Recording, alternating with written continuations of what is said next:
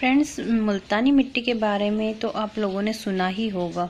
कई सालों से मुल्तानी मिट्टी हमारे बालों के लिए और हमारे स्किन के लिए बहुत बेनिफिशियल रही है।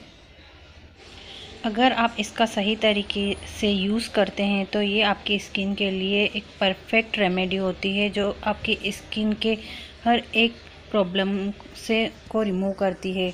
ये आपकी अनइवन स्किन हो या आपकी स्किन पर झुरियाँ हो या आपकी स्किन डलनेस हो गई हो तो ये सारी प्रॉब्लम्स से छुटकारा दिलाती है। साथ ही ये आपके अंडर आई डार्क सर्कल हुए या फिर कोई भी डार्क स्पॉट्स हुए, सबको हाइड करने में भी बहुत यूज़फुल साबित हुई है। मुल्तानी मिट्टी आपकी स्किन को हाइड्रेट रखती है, साथ ही साथ आपके स्किन के, आपके फेस के ओपन पोर्स को भी लॉक करती है, जिससे आपकी स्किन पर एक्स्ट्रा ऑयल नहीं होता है और एक्स्ट्रा ऑयल ना होने की वजह से आपके स्किन पर होने वाले एकने पिंपल्स सब हाइड हो जाते हैं। तो फ्रेंड्स, चलिए बताती हूँ मैं कि इसे कैसे आपको यूज़ करना है, कैसे इसको अपनी स्किन पर अप्लाई करना है। सबसे पहले आप ले लीजिए हाफ़ टेबल स्पून मुल्तानी मिट्टी। आप यहाँ पर नेचुरल मुल्तानी मिट्टी या जो मुल्तानी मिट्टी स्टोन आता है, उसे लाकर घर पर पीस सकते हैं या फिर हर्बल का मुल्तानी मिट्टी पाउडर ही यूज़ करें। बाज़ारी जो पैकेट आते हैं, उसमें मिलावट होती है। उसमें आप यूज़ करें हाफ़ लेमन जूस। आप यहाँ पर किसी कांच की या प्लास्टिक की बाउल में ही ये पेस्ट बनाएँ। अदरवाइज़ आप स्टील का या किसी और बर्तन में ये पेस्ट न बनाएँ। दोनों को अच्छे से मिक्स कर लें। गैस लेमन में विटामिन सी होता है, ये आपको ब्लीचिंग प्रॉपर्टी देता है। आपकी स्किन पर जो हेयर्स होते हैं, उन्हें नेचुरल ब्राउन करता है। साथ ही साथ, ये आपकी स्किन को ब्राइटन एंड टाइटन करता है। गैस लेमन में बहुत सारी अच्छी प्रॉपर्टीज़ होती हैं, जो आपकी स्किन को एक शाइन देता है। ऑल स्किन टाइप्स वाले लेमन का यूज़ कर सकते हैं। आप जब भी मुल्तानी मिट्टी यूज़ कर रहे हैं तो आज आप उसमें लेमन ज़रूर ऐड कीजिएगा। दोनों चीज़ों को अच्छे से मिला लेना है। अब थर्ड इंग्रेडिएंट जो है वो है रोज़ वाटर रोज़ वाटर से ही हमें अपना पेस्ट बनाना है, बना के तैयार करना है। रोज़ वाटर गैस हमारे फेस को एक अच्छा सा पिंक सा ग्लो देता है। रोज़ वाटर भी हमारे स्किन से एक्सेस ऑयल को हटाता है, साथ ही साथ ये हमारे स्किन को हाइड्रेट करता है, अपनी स्किन को हेल्दी और तरोताज़ा रखता है। हमें इसी से अपना पेस्ट बना के रेडी करना है कि स्मूथ सा पेस्ट बनाना है। ना हमारा पेस्ट ज़्यादा थिक होना चाहिए, ना ज़्यादा पतला होना चाहिए। एक अच्छा सा पेस्ट हमें बनाकर तैयार करना है। अगर आप मुल्तानी मिट्टी में ये चीज़ें मिलाकर अगर ये फेस पैक अपने फेस पर लगाएँगे तो आपको बहुत ज़्यादा अच्छा रिज़ल्ट मिलेगा।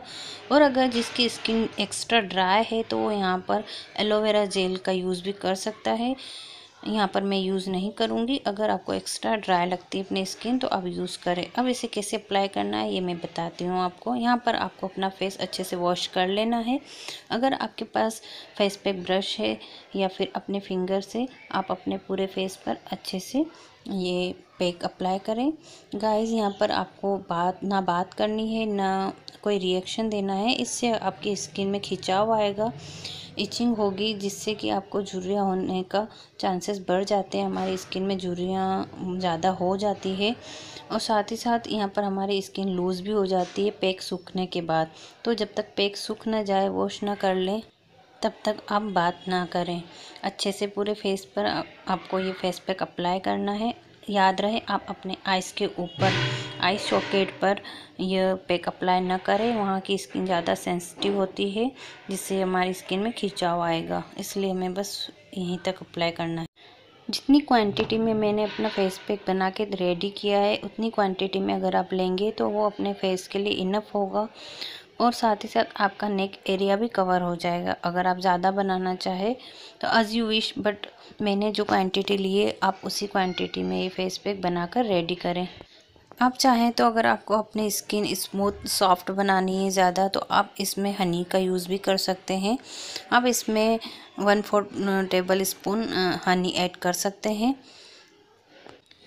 इस वीडियो पूरा देखिएगा और जिस तरह तरीके से मैंने ये पेस्ट बनाया है, जिस तरीके से लगाया है, जो टिप्स मैंने आपको दिए हैं, अगर आप उसी तरीके से ये सारी प्रोसेस करते हैं तो आपको डेफिनेटली रिज़ल्ट मिलेगा। एक हफ़्ते में आपको तीन बार यूज़ करना है, गाइस। आपको हंड्रेड परसेंट रिज़ल्ट देखने को मिलेगा। अच्छे से पैक अप्लाई हो चुका है। हमें यहाँ पर बात नहीं करनी है। बस हमें इसे 10 से 15 मिनट तक ड्राई होने के लिए रखना है। उसके बाद हमें गाइस एक सादे ही पानी से नॉर्मल वाटर से अपना फेस वॉश कर लेना है। देखिए, मैंने यहाँ कर लिया है। एक बार ही अप्लाई करने में मुझे यहाँ पर मेरी स्किन स्मूथ लग रही है गाइस ग्लो भी दिख रहा है। आपको दिख रहा है कि नहीं बट मुझे फ़र्क लग रहा है। तो मैं ये कहूँगी कि आप हफ़्ते में दो से तीन बार इसे ज़रूर यूज़ कीजिएगा।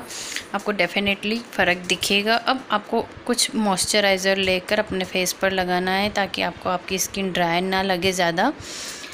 आपके पास मॉइस्चराइज़र नहीं है तो आप यहाँ पर कोकोनट ऑयल भी अप्लाई कर सकते हैं या फिर कोल्ड क्रीम जो भी आप लगाते हैं वो अपने फेस पर अप्लाई कर ले।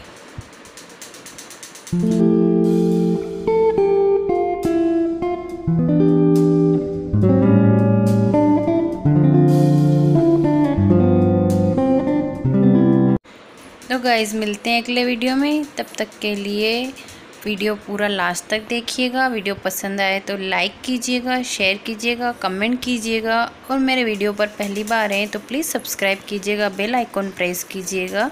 बाय